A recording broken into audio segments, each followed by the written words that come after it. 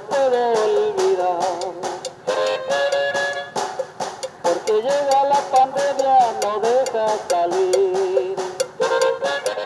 A mí no me dan trabajo por la vista, desde que nací así soy. Oiga, es difícil, ¿no?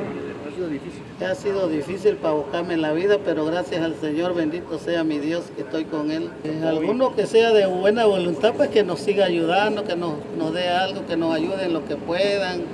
Hasta si alguna persona quiere depositar alguna mercancía, también se lo puedo aceptar. Don Emiliano y su esposa padecen ceguera de nacimiento, por lo que les ha sido imposible conseguir un trabajo, pero no por falta de ganas, sino porque les han cerrado las puertas del sector laboral, no quedándoles de otra, buscan ganarse la vida cantando y tocando con ingenio, pidiendo ayuda en las calles a la gente que pasa a su alrededor. Ya sabes que pues a veces hay, a veces no hay, y así es. ¿Y durante la pandemia cómo, cómo la pasó?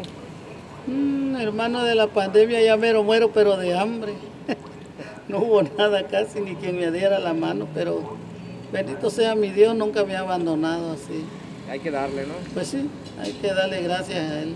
Emiliano y su esposa dijeron ser de Escárcega y que vienen a Campeche cada vez que tienen la posibilidad, dado a que no cuentan con algún teléfono, dejaron su dirección de Escárcega. No, no vengo casi de vez en cuando, no, por, pues que a veces no tengo ni para mi pasaje, ni para nada, no, crea.